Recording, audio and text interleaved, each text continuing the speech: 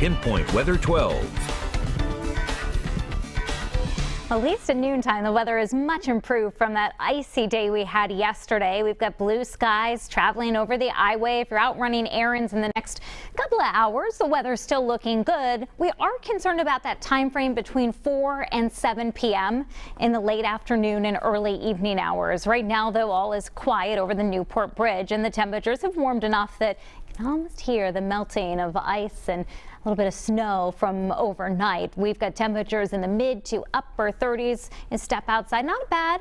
Afternoon Forest, New Bedford's at 36. Smithfield's down to the freezing mark and Chepachet's right at 30 degrees. On the radar is where we're tracking the next batch of snow showers that'll be crossing into New England. So there's still a ways off to the west of us and the timing, as I mentioned, bringing it in during the evening hours. So it's cold that's on the way advancing in along with that cold front and we'll see well below normal temperatures from tomorrow all the way through Saturday morning. We also have a brief snow squall possible this afternoon ahead of that cold front followed up by that quieter stretch of weather for the end of the week and the weekend. So here's the evening commute. Some slick roads are possible with any snow showers or squalls that come through, through along with some brief reduced visibility. One thing you're going to notice are that the winds are going to tick up. Right now we have winds between 5 and 15 miles per hour.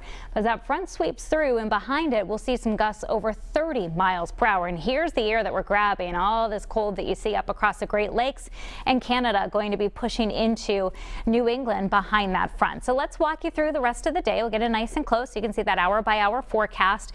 And again, next few hours, all is quiet, but by 4 o'clock, we're tracking a few of these snow showers and the potential for a heavier snow squall. Again, not everyone's going to see one, but for those that do, conditions on the roads could go downhill.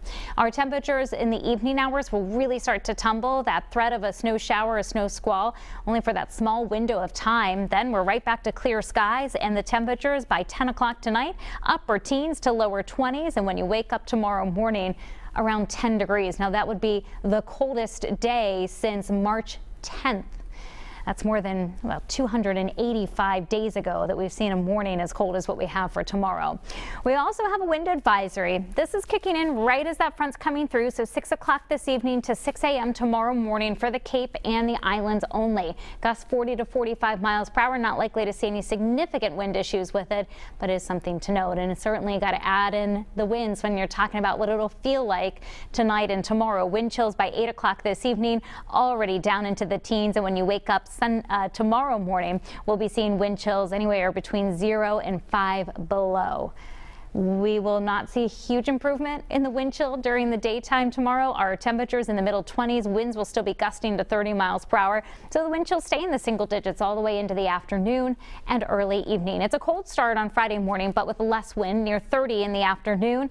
And then over the weekend, the temperatures do start to moderate. So Saturday game for the Pats this weekend, and it's looking good for that. Just increasing clouds. Sunday is dry. That seven day forecast now has Christmas Eve in it.